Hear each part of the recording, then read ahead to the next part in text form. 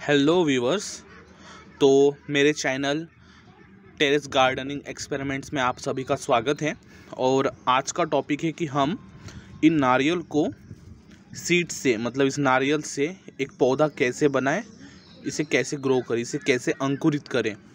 तो मैंने ऐसे बहुत सारे नारियल, लगभग मैंने आठ नारियल लाए हैं एक्सपेरिमेंट करने के लिए। और मैं इनको आप घर में कैसे ग्रो कर सकते हैं उसके बारे में बताऊँगा। हालाँकि मैंने इसके पहले पिछले साल आ, समर टाइम पे ही कुछ नारियल ख़रीद के लाए थे। और ये पानी वाले नारियल ही वैलिड है आपकी इस एक्सपेरिमेंट के लिए। अगर आप कोई नारियल घर में ग्रो करना चाहते हो या अंकुरित करना चाहते हो बोनसाई की तरह तो भी आपको पानी वाले नारियल ही लाने होंगे। और अच्छे वेट हो पानी का। और लगभग मेरे मुझे एक नारियल ये पच्चीस रुपये का पड़ा है। पिछले साल यही साइज़ का नारियल मुझे बीस रुपये का पड़ा था। तो मैंने उसके चार से पाँच नारियल लगाए थे और मेरा सक्सेस रेट आ, मतलब पाँच में से चार जो नारियल के पेड़ थे वो ग्रो हुए थे। मेरे पास अभी तीन नारियल के पेड़ हैं और दो महीने अपने मतलब जो एक है वो मैंने अपने फ्रेंड को दे दिया। तो इसकी अब मैं स्टेप बाय स्टेप एक बताऊँगा कि किस तरह से आपको इसको अंकुरित करना है, इसको स्प्रॉट किस तरह से करना है। तो सबसे पहले प्रोसेस में मैं बताऊँगा कि इस तरह के गमले में आप इसको स्प्रॉट कैसे कर सकते हैं। आप देख सकते हैं, यहाँ पे ज़्यादा मिट्टी अभी है नहीं, मैंने निकाल दी है। और इस तरह के गमले में आपको एक इस तरह का नारियल लीजिए। और इस तरह के नारियल के आसपास बहुत सारी मिट्टी डाली है। तो अभी मैं इस पॉट में थोड़ी सी मिट्टी डाल दूँगा, उसके बाद इसको उस पर ऊपर रख दूँगा। तो अब मिट्टी डालने के बाद ये जो ऊपर का पोर्शन है, आप देख सकते हैं, ये ऊपर का पोर्शन इसे इस तरीके से रखिए, नीचे तक। और इसके आसपास जितनी गैप हैं आप उसमें मिट्टी डालिए। तो मिट्टी डाल के हो गई हैं। इसे आप ऐसी जगह रखिए, टेरेस पे या आपके पास जहाँ भी जगह हो, जहाँ सबसे ज़्यादा धूप आती हो और सबसे ज़्यादा ये गर्म हो जाए धूप के समय। अभी तो बारिश का मौसम है तो पानी इस पर गिरे भी तो भी कोई ज़्यादा मसला है नहीं। आप बस इसे धूप वाली जगह रखिए। अब क्या प्रोसेस होगी इसमें इंटरनली धूप वाली जगह रखने से ये जो मैंने इसका जो बुरादा है ऊपर का ये निकाला नहीं है। मैंने ये एज इट इज़ डाला है। तो ये काफ़ी सारा मॉइस्चर कंटेंट स्टोर करके रखेगा। और जो पानी हम आ, मतलब बारिश की वजह से रहेगा उसके वजह से ये मेंटेन रहेगा इसका मॉइस्चर और धूप की वजह से आसपास का एरिया ज़्यादा गर्म होगा और उस वजह से इसकी स्प्रॉटिंग जल्दी हो जाएगी।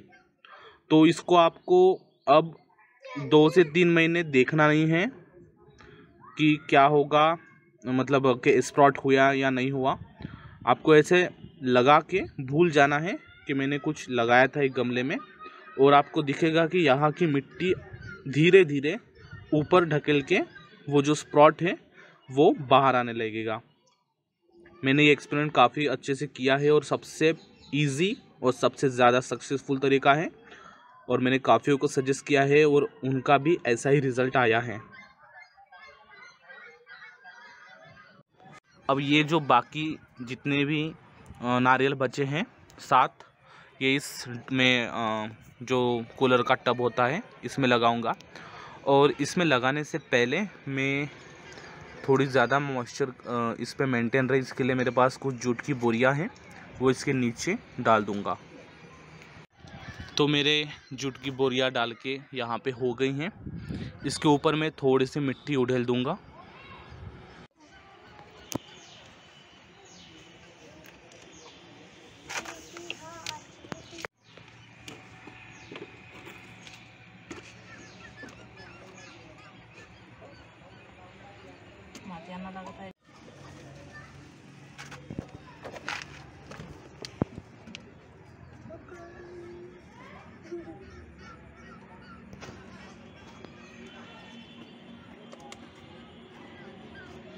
तो अभी यहाँ पे मिट्टी एक लेयर डाल दी है और उसके ऊपर में ये जो नारियल लाए हैं मैंने, वो इसके ऊपर रख दूँगा। इस तरह से ये नारियल मैंने रखे हैं कुछ डिस्टेंस में।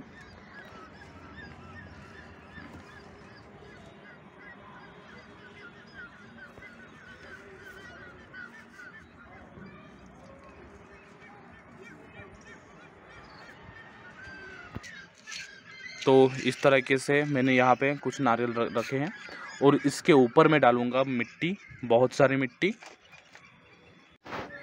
मिट्टी से पहले मेरे पास कुछ राइसेस था, वो भी इसके आसपास में डाल दूँगा, जिससे एयर रेशन प्रॉपरली बनी रहे।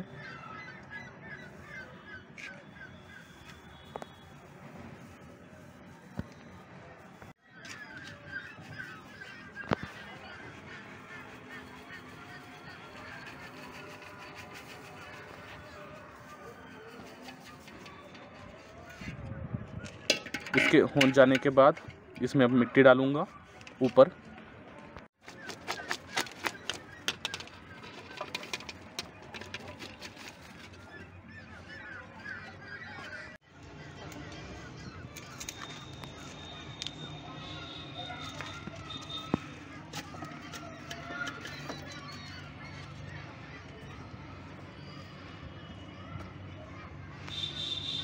इस टब को पूरी मिट्टी से अब कवर कर दूँगा।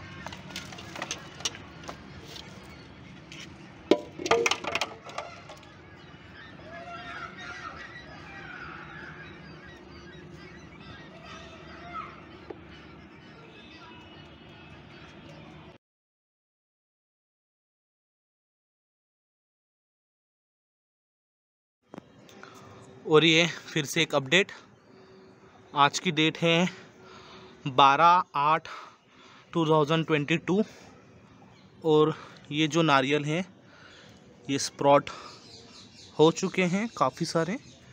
ये भी हो चुका है, अंदर से आप देखेंगे तो। इसका तो अच्छा खासा रूट आ चुका है। मैंने इसको अभी तक तो ओपन नहीं किया, पर मुझे पता है। रूटी आया है तो अंदर देखना ही क्या है। ये भी एक और ये भी एक। तो कुल मिलाकर अभी तक स्प्रॉट हुए हैं एक दो तीन चार और पाँच। और यहाँ पे तीन महीने ढक कर रखे हैं जो अभी तक स्प्रॉट नहीं हुए हैं बट जो स्प्रॉट हुए हैं वो ये पाँच हैं और ये भी आ, कुछ समय बाद कुछ टाइम इंटरवल के बाद ज़रूर स्प्रॉट होंगे। मैंने उनका जो नोड है, वो देखा है, जो आय कहते हैं उसको, जहाँ से रूट स्प्रॉट होता है। तो वो थोड़ा सा ज़्यादा गीला है और मुझे लगता है कि वो जल्द से जल्द स्प्रॉट हो ही जाएगा। तो होप्सो में इन, वो अच्छे से स्प्रॉट हो।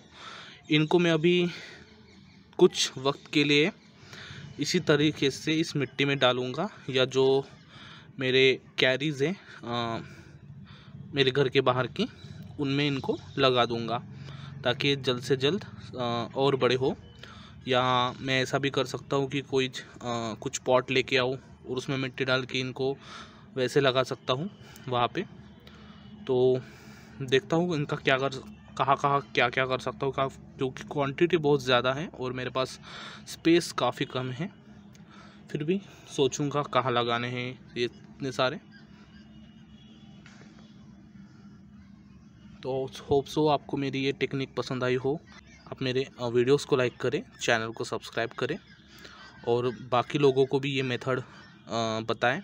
इसमें आपको सिर्फ़ रखना है और भूल जाना है, जैसे मैं भूल गया। और इससे आपको ज़्यादा मेहनत नहीं करनी पड़ेगी। हाँ टाइम ज़्यादा लग सकता है। आप जो भी स्टेप्स बाकी यूट्यूब चैनल से देखते होंगे। बट आप देख सकते हैं कि मेरा जो रेशो अभी का है, मैंने आठ नारियल लाए थे और उसमें से पाँच ग्रो हुए हैं और मैं अभी भी कह रहा हूँ कि मेरे बाकी के तीन भी ग्रो होंगे। हो सके तो उनका भी मैं अपडेट ऐड कर दूँगा इस वीडियो में या अलग से किसी वीडियो में उसे भी डाल दूँगा। बट ये पाँच जो नारियल मैंने लाए थे, वो कंफर्म स्प्रॉट हो चुके हैं। तो फाइव रेस टू थ्री का रेशियो है। सो so, मिलते हैं नेक्स्ट वीडियो में किसी और टॉपिक के साथ। Thank you so much for watching my video